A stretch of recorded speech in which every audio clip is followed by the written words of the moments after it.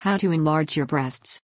Fortunately, there are two very simple methods available to anyone who can strengthen the muscles around the breasts, making them appear bigger and firmer. Physical exercises These exercises are very easy to perform and do not require a long time. Sit with your back on a bench, bed or carpet. Take in each hand a 2 kg dumbbell. Raise your arms straight above your chest. Then lower them on the side as much as you can, like the wings of an airplane. Lift them over the chest again. Repeat. Do 3 sets of 10 repetitions. This strengthens the musculature under the breast and the muscles in the upper area of the chest, as well as the muscles on the arms. In a month, we'll see the first results.